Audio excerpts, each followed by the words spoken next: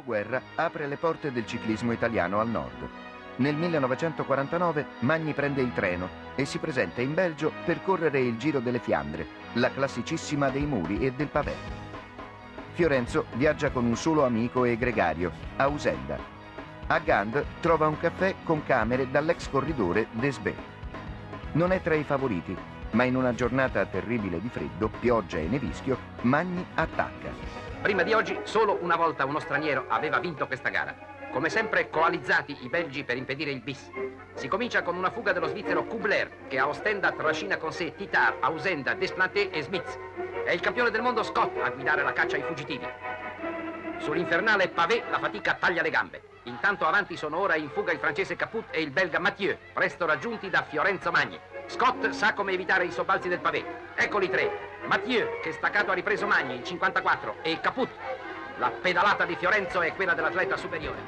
Lo raggiungono in 18. In volata sceglie di lanciarsi con un rapporto più agile e sorprende tutti. Un volatone iniziato da lontano per evitare sorprese. Tutti battuti. La sorpresa della folla si muta in ammirazione. Gli occhi di Fiorenzo brillano di gioia e di commozione. È il primo successo. Vince anche nel 1950, quando gli organizzatori inseriscono per la prima volta il Grammont, quello che ora è considerato il Mur, il muro per antonomasia. Magni attacca a 60 km dal traguardo, nella tempesta, e vince con oltre due minuti su Schotte e oltre nove minuti su Caput. Traversando le città con le case dai tetti aguzzi si immaginano dietro le facciate gli interni fiamminghi. Ma oggi è giornata d'aria aperta, lo sa bene Fiorenzo Magni, deciso a replicare la vittoria dell'anno scorso. Dopo 100 km ha scatenato l'offensiva, gliene rimangono 173, ma non mollerà più. Sette uomini gli hanno resistito e fra questi è Scotte. Ma Fiorenzo sgretola il gruppo. Supera i due soli che gli rimangono a ruota, il francese Maes e l'olandese Van Est. Vincerà il premio della montagna. E il traguardo sarà suo. Battaglia durissima, superata a 33 di media. Nel 1951 si presenta con una bici speciale studiata con Luigi Ganna, che monta ruote speciali e tubolari da 350 grammi. Fiorenzo attacca a 80 km dall'arrivo e non lo riprendono più. È il tris leggendario con 5 primi e 38 secondi su Bernard Gauthier. Ed eccolo ancora col numero 1 sulla schiena nella gara del 1951. 199 i concorrenti, con i belgi decisi a prendersi la rivincita. Invece il primo fra loro, Van Stenbergen, non giungerà che sesto. Il campione del mondo, Scott, abbandonerà a 100 km da Gand.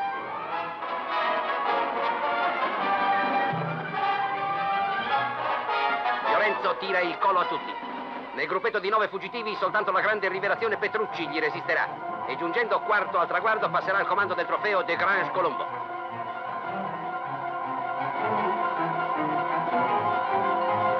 Freddo, vento, pioggia, grandine sono vanamente coalizzati contro il dominatore della gara.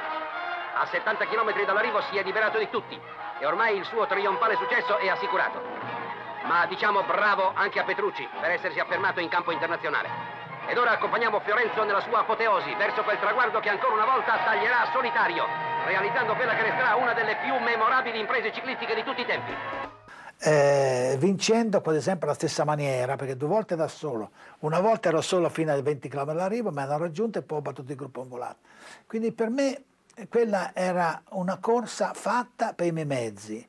Io che sono toscano, trapiantata in Brianza da una vita, non c'è pavè, non c'è strade brutte, diciamo fa questo grullo della Toscana che va a vincere nel Belgio, eh, dove c'è un pavé non è come quello di adesso, una cosa incredibile. Questo muro di Gramont che la gente lo faceva a piedi perché i rapporti erano diversi, allora adesso non vanno a piedi eh, neanche sulle scale perché hanno così rapporti facili che, che non c'è più quel problema.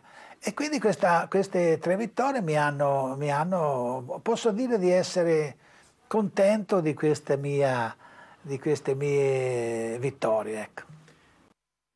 Tre successi consecutivi nella corsa dei muri, un primato rimasto a distanza di tantissimi anni ancora ineguagliato. Se nel 48 era nato il mito del terzo uomo, nel 49 nasce la leggenda del leone delle Fiandre, questo italiano che va nella tana dei Belgi e batte tutti. Come abbiamo visto e sentito, la prima volta un successo in volata e le altre due volte Magni staccò tutti per arrivare sul traguardo in perfetta solitudine. Sembrava nato per quella corsa Fiorenzo Magni, strappi brevi, eh, pendenze non eccessive, anche se eh, nell'ultima sua vittoria venne inserito il muro di Gramont, ma era già da solo, aveva già staccato tutta la concorrenza. Anche alla Roubaix Magni andò vicino al successo, ma arrivò solamente una volta terzo.